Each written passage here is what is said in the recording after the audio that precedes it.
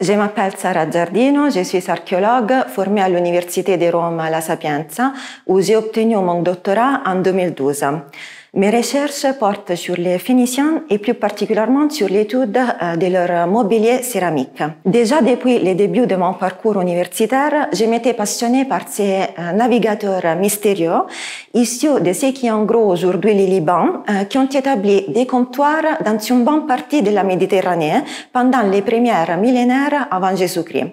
Paradoxalement, ces commerçants qui ont inventé un alphabet et excellé dans l'industrie euh, de la pourpre, du verre et des métaux n'ont laissé que des rares inscriptions et des traces qui ne sont pas si nombreuses. Malgré cela, euh, leur étude révèle les caractères multiculturels d'une société qui a fait du commerce et des échanges culturels la source de sa euh, prospérité. Les Phéniciens avaient coutume de sacrifier des animaux et de célébrer des banquets collectifs à l'occasion d'enterrements ou de cérémonies religieuses.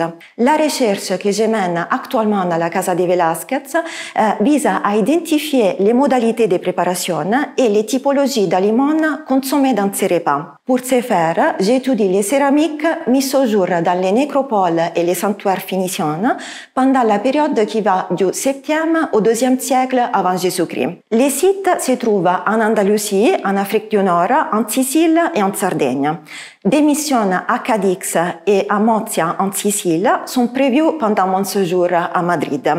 Euh, je cherche à reconstruire euh, la fonction de ces objets en analysant les traces d'utilisation et des contenus encore préservés, comme de viande ou de poisson. Il s'agit d'un travail multidisciplinaire que je réalise en collaboration avec des chimistes euh, pour l'identification des résidus organiques euh, du contenu des récipients ou avec des archéologues et des archéobotanistes euh, pour l'étude des végétaux et des animaux consommés dans les contextes rituels. Mon travail aidera à reconstruire l'économie et la culture alimentaire des Phéniciens en Méditerranée occidentale.